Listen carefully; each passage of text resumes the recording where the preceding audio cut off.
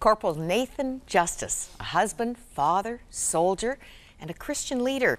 Born in Dauphin, Manitoba, raised there as well, he has served eight years in the Canadian Armed Forces. He's been on two combat tours in Afghanistan. The path of the warrior has been life changing for Nathan, and he's eager to share the spiritual lessons from the front lines. Nathan, welcome. Hi. We have a peace lily for you today in uh, appreciation for all that you've committed and sacrificed to serve your country and to serve people of Afghanistan uh, with the goal of, of peace ultimately. Um, how, how do you feel about this decision to pull the troops, both American and Canadian, coming home? Um, what do you think? Well, it definitely feels good to pull our men and women back home to the safety of Canada, wherever wherever they are in the world. It, it feels good, but uh, as a soldier uh, with experience, I know that it's only temporary. I know there's always, unfortunately, going to be another place for our men and women to serve and do the job that they're trained to do, protect the freedoms and interests of, of our Cana Canadian society. Mm. You've got a brother heading out? I got a brother that's gearing up to go uh, to Afghanistan, but he's going to be running I believe anyway, more of a, a training aspect of uh, the mission, training the local authorities to take over in Afghanistan so they can keep the peace uh, in our absence because that's ultimately the goal to, uh, to maintain a peaceful environment in Afghanistan for the people. What's your brother's name? My brother's name is Jairus Justice. And he's even younger than you He's are. even younger than me. He's in his early 20s, 22 I believe.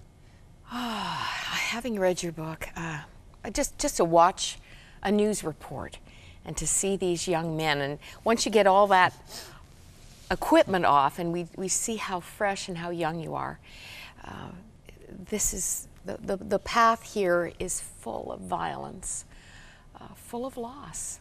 Yes, you, it you lost first tour two friends?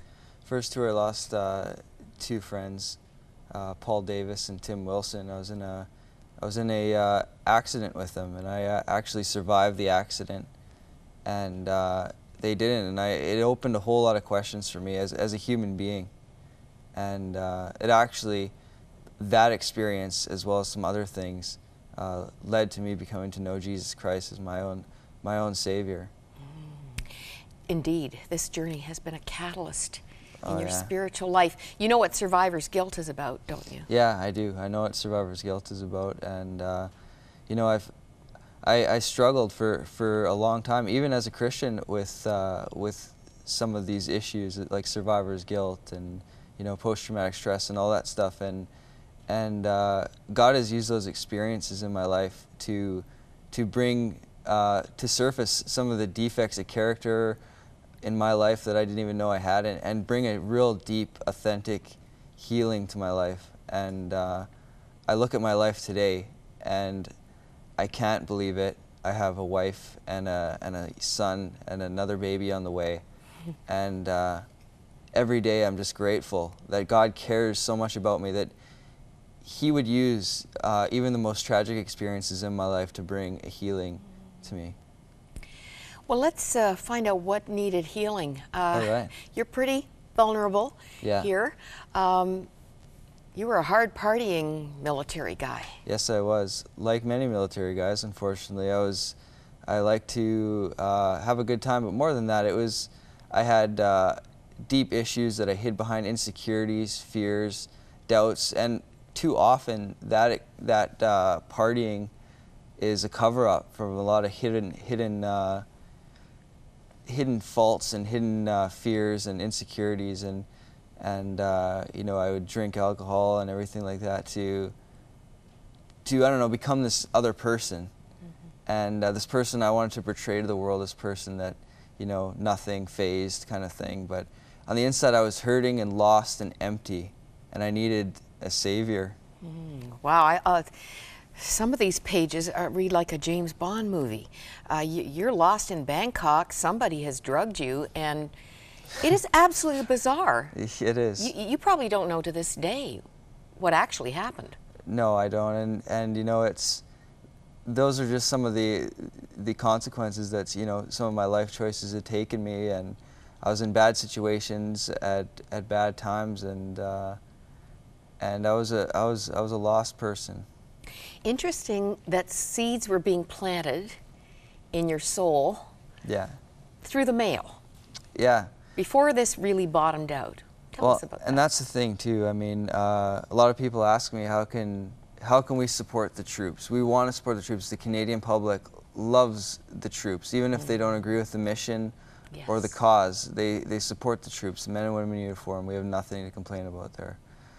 But um, one of the best things that anybody could give you is a relationship or an, an introduction to a relationship with Jesus Christ. And so what happened is my father's church uh, started sending me books and and uh, letters and all kinds of things and prayers in the mail, and I would read those things. And uh, so these seeds were getting planted, and then these experiences would happen, these traumatic experiences, and, and it would make me question all the things. And then I would get the answers from these books in the mail. Really? It was connecting it for was you. connecting for me in this weird uh, kind of way that I didn't understand at the time, and and uh, it was almost like when I needed help, it was there. Um, and they they were just sending me this stuff, and, and the Holy Spirit was taking care of the rest. And I didn't know all this at the time, but God was going to save me. So you, you came home after that first tour. Yeah, And that was pretty pivotal. yeah. Tell was, us about your church connection. it was pivotal. I started going to a, a church uh, called Bethel, Bethel Christian Assembly in Brandon, Manitoba, and I started sitting in the back row so nobody would see me. And uh, You were intrigued by the pastor.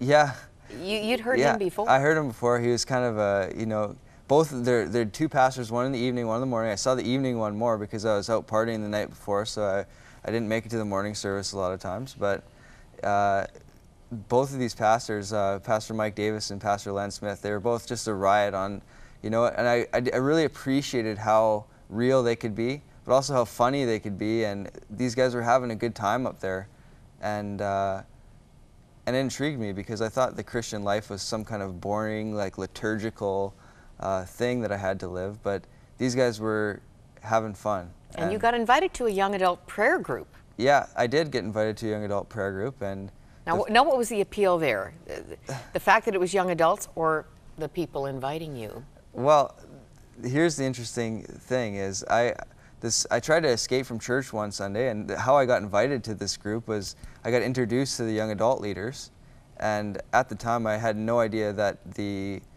the woman young adult leader would be my wife, and the man young adult leader, he's now a pastor at the church, Pastor Mike Sidko, he would uh, become my best man at my wedding. so I didn't have a clue at that time. God was writing a wonderful story. November 10th, 2007, you call it the best day of your life. Yeah. We have a picture of your family, family photo. Uh, you tell us your wife's name. Her name is Anatoly. Uh, uh, people call most people call her Anna, and my son's name is Judah. How old is Judah today? He is 19 months old 19 months old and a baby on the way. and a baby on the way.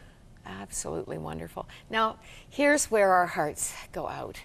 Um, was it just two months after your wedding? You were shipped out again Two months after my wedding, I was shipped out again. for seven months. Yeah, brand new Christian, brand new husband, and uh, went back on another tour.